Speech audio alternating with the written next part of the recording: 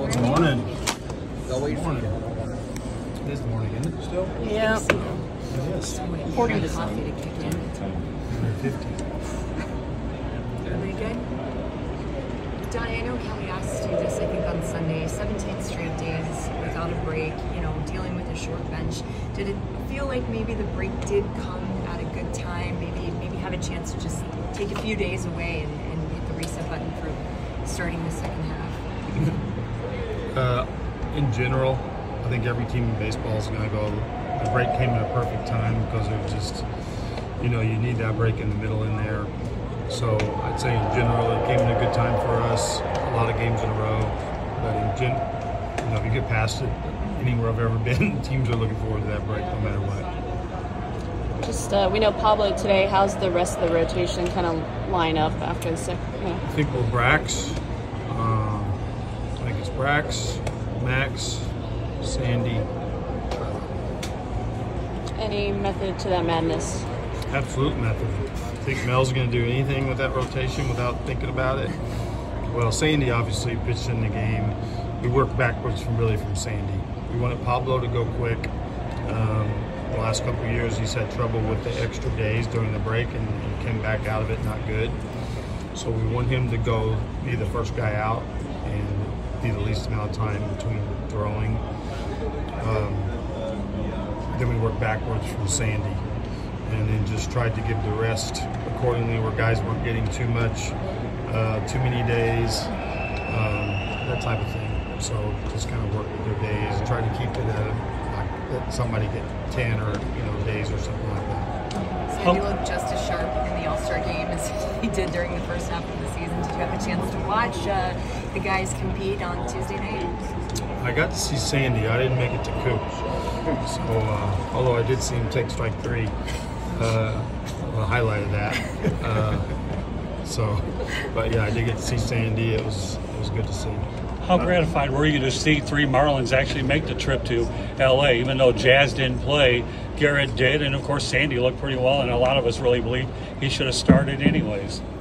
Yeah, I think it's it's good to see your guys that you know doing you know getting recognized. Uh, obviously, Jazz got voted, which was good. Sandy, flat out, you know if not the best pitcher in at least in the National League, then he's got to be one of the you know, top two. I don't know how you want to say it, but he was pretty good.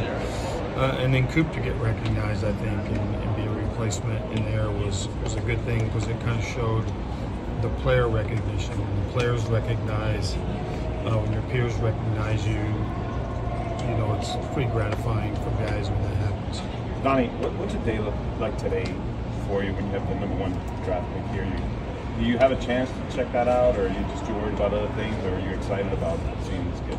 Oh, I'm excited about meeting him, but a lot going on. Obviously, day after the break, it's kind of a weird game from the standpoint it's one game, pairing, you, know, you do all your same preparations as you would in three-game set, uh, and then you're traveling and doing it again, you know, right after the game. So it's kind of a different game. And then coming after the break, being a day game is, is another thing to it. But yeah, excited about meeting the kid. And, uh, obviously, I'm sure he's excited, you know, getting his career started and the whole thing. They say he's pretty close. Do you whisper in his ear, "Hey, man, uh, when are you ready to go?" Or I told Kim to stick him in AAA. Let's see what goes on.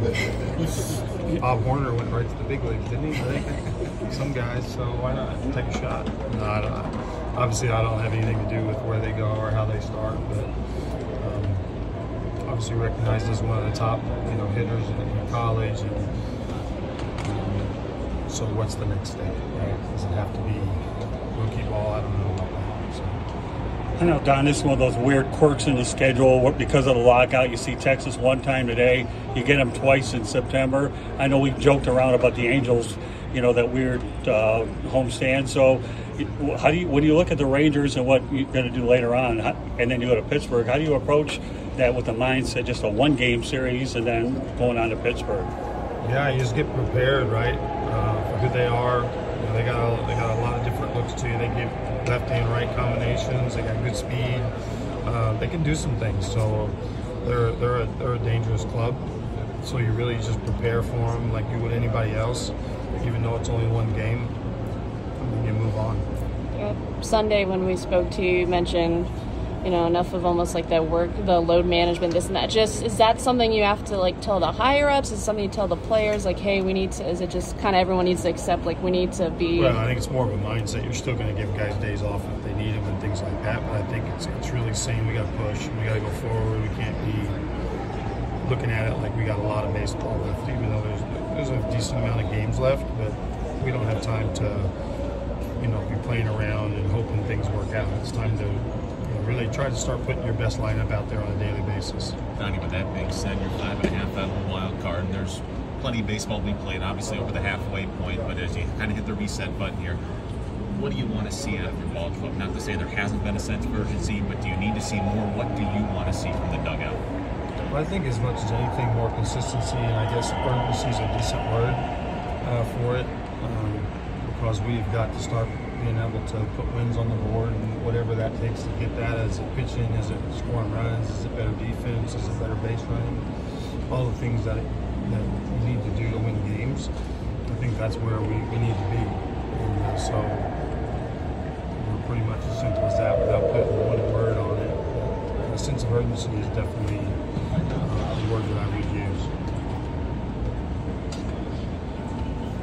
Thank you. Okay. Saw some swimming, huh?